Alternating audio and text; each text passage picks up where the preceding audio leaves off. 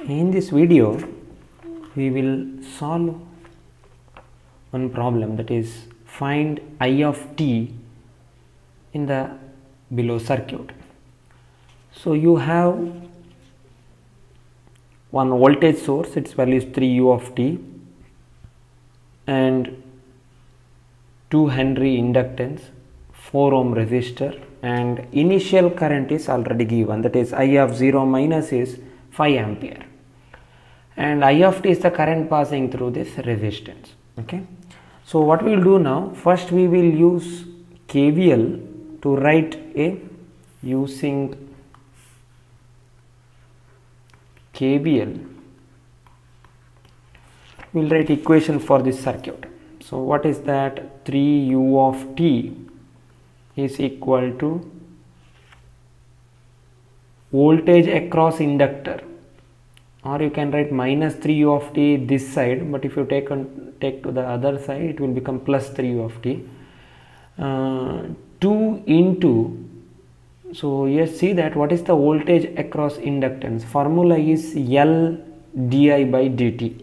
L here 2 so you multiply the 2 by di by dt plus voltage across resistor that is simply 4 into i.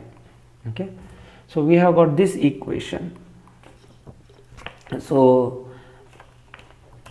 now if we take laplace transform of on both side in this equation so this becomes taking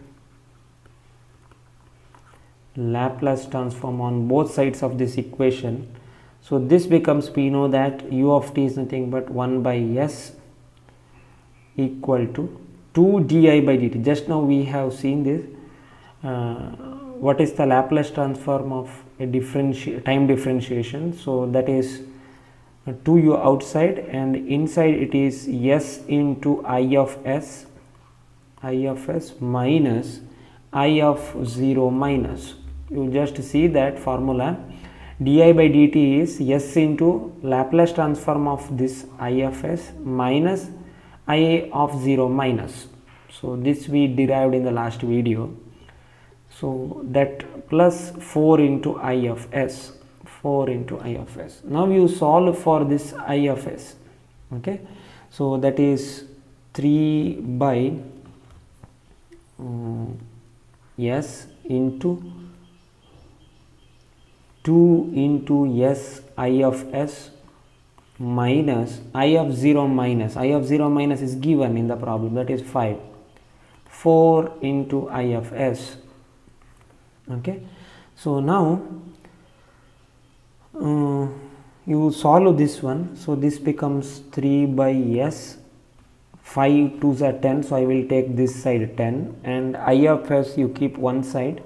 So i of s uh, into 2s plus 4 you will get okay? So now if you further solve this you get an expression for ifs so ifs is equal to so 1.5 into s into s plus 2 plus 5 divided by s plus 2 you will get. Again using partial fraction this you have to separate. It will be a by s plus b by s plus 2 so that you do and find value for a and b. I will directly write here. You just solve that one okay?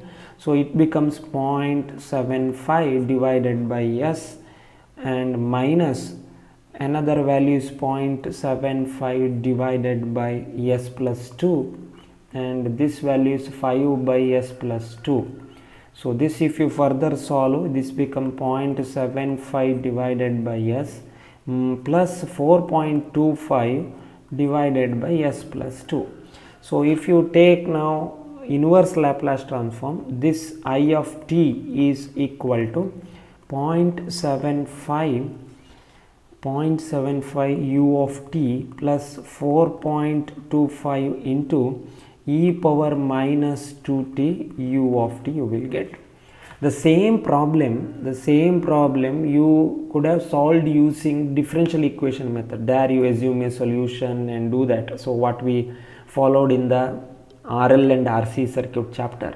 So that also you can do that. You will get the same result here. You will get the same result.